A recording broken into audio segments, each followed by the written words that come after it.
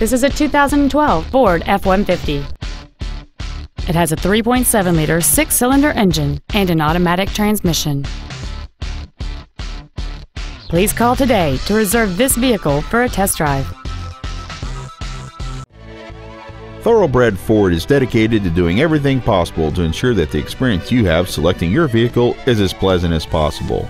We are located at I 29 and Barry Road in Kansas City.